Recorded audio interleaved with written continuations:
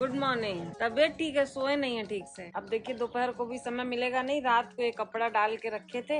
Machine में से कोई निकालेगा भी नहीं। सुबह उठ के फैला रहे हैं। कभी कभी तो कसम से मन करता है कि दो दिन, चार दिन, हफ़्ता भर बस सोए। लगातार सोए। कभी लाइट कट जाएगी, कभी बारात जाएगी, कभी इसके पापा देर से आएँगे। बच्चे उठे, आप कह रहे हमारे भी सूरज नहीं देखते। निशाचर हो गए रात भर जगते हैं, दिन भर सोते हैं। हमको समझ में नहीं आता क्या करेंगे सब ज़िंदगी में। कुछ नहीं कुछ नहीं कर करके भी इतना काम हो जाता है की पूछिए मत।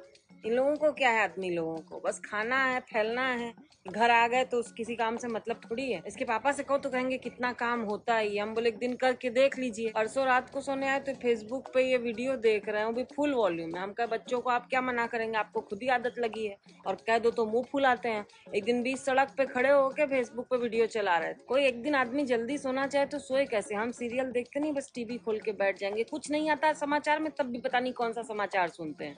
उसके लिए टोक दो तो कुछ स्पोर्ट पे लगा के बैठ जाएँगे। जैसे एकदम दिखाई ही नहीं देता कि दूसरा आदमी भी थक गया है भाई। अब रात का समाचार लगाना बंद कर दिए थे, तब तक आईपीएल शुरू हो गया फुकौना। पहले बस दिवाली पे पटाखा बजाते थे। अब होली, नवरात्र, मैच जीतने पे, शादी होने पे, किसी भी खुशी में बम फोड़ रहे हैं। नींद आ रही है पर अभी नहा धो के जल देंगे, फिर खाना बनाना है ना। खिचड़ी खिचड़ी बना दे कोई छुए ना, सब बहुत दुष्ट है।